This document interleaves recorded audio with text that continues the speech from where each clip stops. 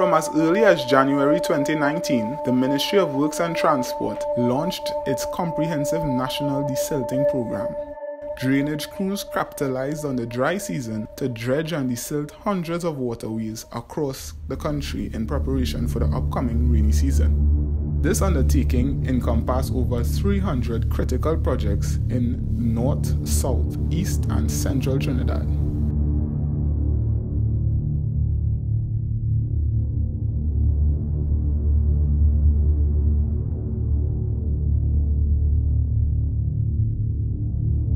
As the country awaits the start of the rainy season, the Ministry of Works and Transport has plunged its resources into ensuring that all major watercourses and tributaries were desilted or dredged, thereby reducing the risk of flooding.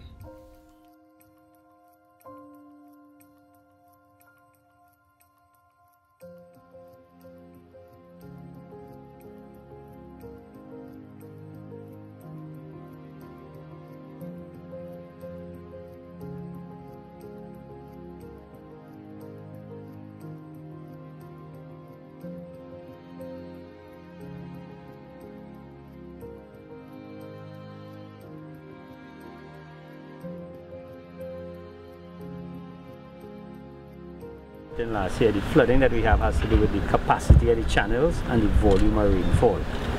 Um, what we're trying to do is to expand the capacity as far as possible wherever we can do it. Of notable mention is the extensive work that was completed on the Caroni River. In fact, the channel was widened by approximately 3 kilometers, doubling its capacity. This increase will assist the outflow of water from areas such as the Guanapo River, the La Horquetta main drain, the Arena River, the Greenvale tributaries, the San Rafael River, and Carapo Ravine.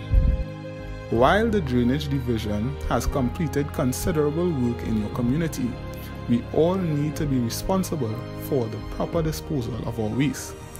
Illegal dumping of waste is a major cause of blockage to our water channels.